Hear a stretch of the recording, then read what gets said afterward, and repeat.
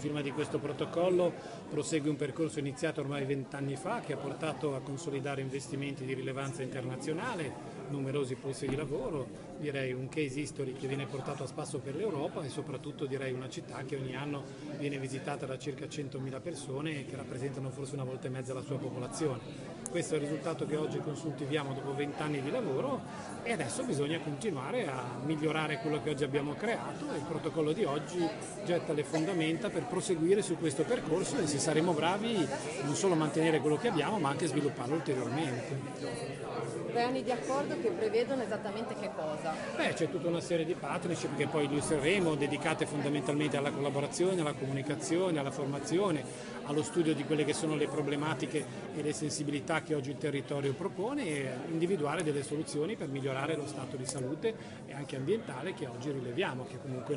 occorre segnalarlo è sicuramente a buoni livelli.